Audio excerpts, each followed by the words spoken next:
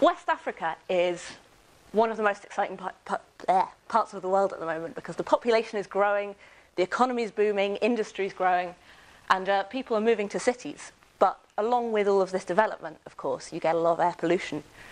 And uh, air pollution already kills about 500,000 people in Africa every year. And um, it's very, very badly monitored as well.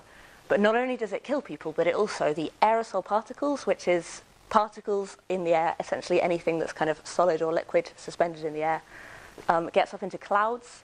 And then these clouds, you know, if you've got more particles in there, you end up with more water droplets, and each of these droplets ends up being smaller. Uh, so it can affect rainfall, and it can also affect the climate. So it's a big issue. Um, like I say, very little is known about it, and it's not well monitored. So enter DTP science.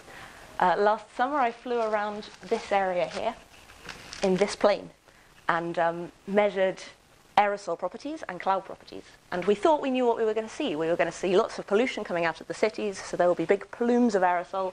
And then where those plumes of aerosol were, we would see more clouds and we would see, uh, sorry, we would see more droplets in those clouds, but they would be smaller.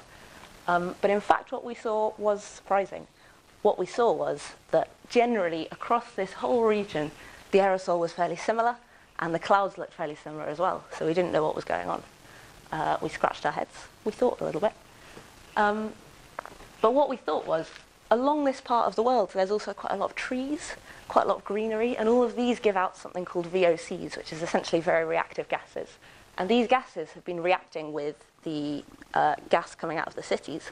And so what we were seeing was a lot of what we call secondary organic aerosols, and a huge amount of what we were measuring came from this reaction between what's coming from the trees and what's already in the cities, far more than in other parts of the world, because what we have created by putting so many cities along that coastal zone is a kind of chemical reaction powerhouse in the air above West Africa, because the temperature is so warm, there's so much sunlight, there's so much in the air already, so all of these reactions happen incredibly quickly, and so you get a lot of particles forming in the air itself, and they form across the whole region.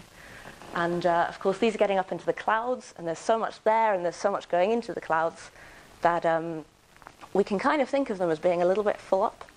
So uh, essentially, what we're looking at is an idea that we've got all of this pollution coming out of cities, it mixes, it transforms very, very quickly into this secondary organic aerosol, which is the same across the whole region. And um, what we're starting to think is that a lot of the big changes to the clouds in this part of the world have already happened. Uh, so, potentially, if over the next 30 years or so the pollution triples as we're expecting it to do, it is quite probable that because so many changes have already happened and because there's so much in the clouds already, we might not actually see as many changes to rain patterns and uh, climate change from the aerosol particles as we might have thought. Thank you.